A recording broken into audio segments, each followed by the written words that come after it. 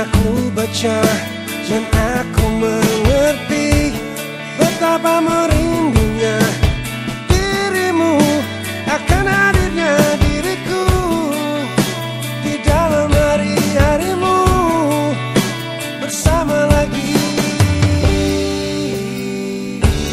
Kau tanyakan padaku kapan aku akan kembali lagi. 傾く dark was